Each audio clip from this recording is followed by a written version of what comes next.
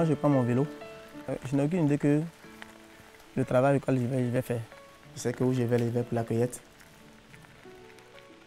Être planteur de cacao, c'est vraiment assez difficile. Moi, c'est Kofi Ngoran Lucien.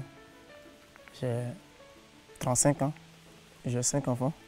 Je voulais qu'il y ait travail, qu'elle soit quelqu'un dans la vie. Ça, c'est mon souhait. Donc, raison pour laquelle je travaille du au champ pour pouvoir payer la scolarité.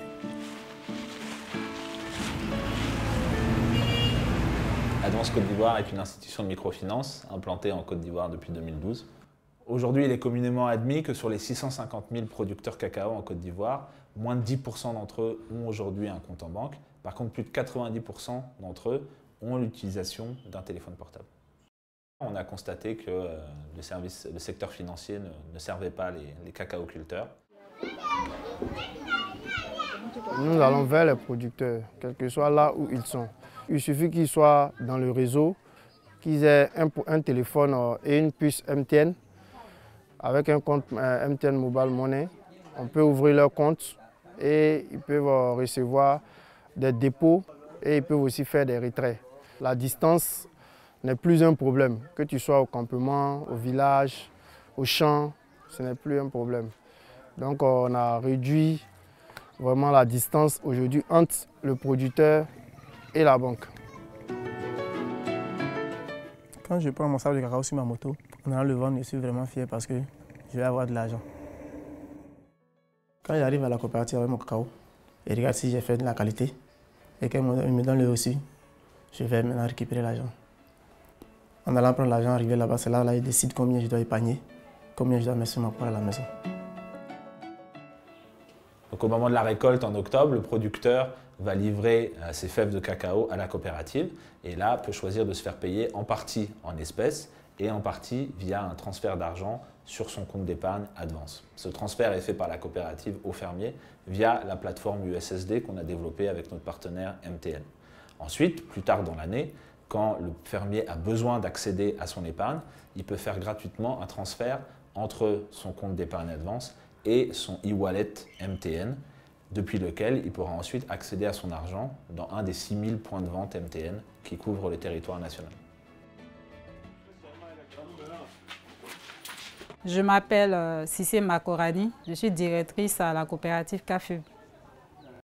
La réaction des producteurs quand euh, on leur a présenté le produit d'épargne avec le, portable, ils étaient un peu réticents.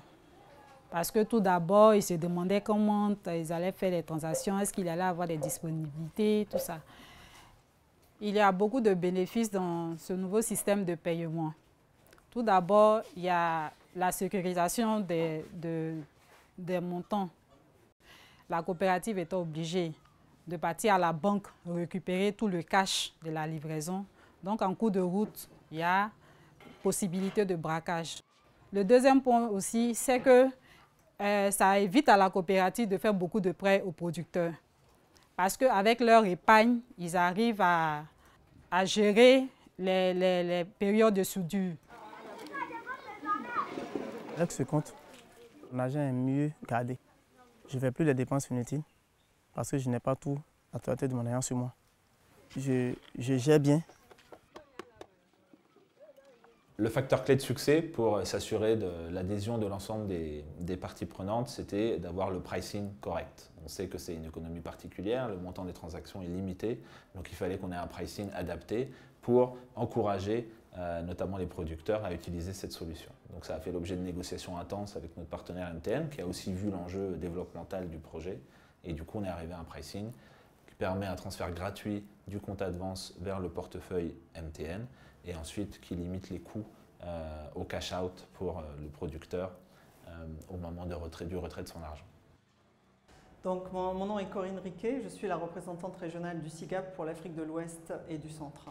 Les, défis sont, nombreux. Bien que tous les acteurs soient d'accord pour supprimer les transactions euh, en cash, l'écosystème en place ne peut pas encore permettre une transition euh, immédiate et complète vers des transactions euh, numériques.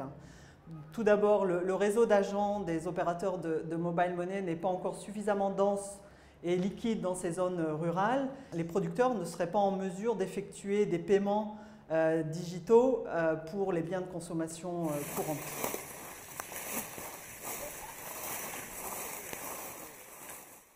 Sur cette première année, qui était une année de test, hein, notamment pour les producteurs, on a constaté un taux d'épargne de 10% des revenus. Donc en gros, sur un prix du cacao qui était de 1000 francs le kilo, il y avait 100 francs qui étaient épargnés sur le compte avance. Le reste était payé en espèces par la coopérative.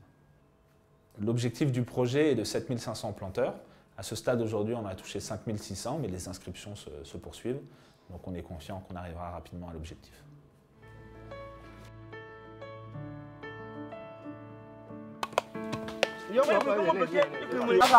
Pour mes rêves, je vais avoir encore une autre parcelle pour agrandir encore le champ.